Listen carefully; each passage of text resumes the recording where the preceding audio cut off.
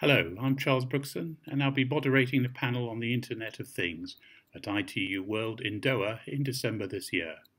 What is the Internet of Things? Well, it's non human devices that are interconnected.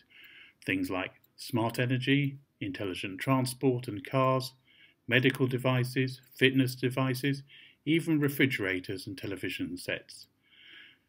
So, what sort of uh, issues might we expect? Well, of course, there are issues around privacy and security. There are many examples in the hacker community where security can lead to the loss of privacy.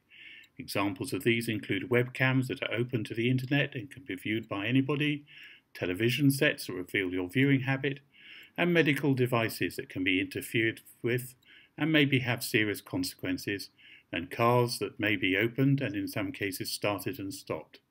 Some of these can cause disruption to national and international infrastructure, for example, a denial of service attack on the electricity system, food supplies, or water.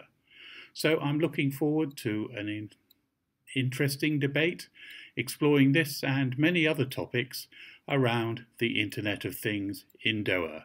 And I look forward to seeing you all there. Thank you.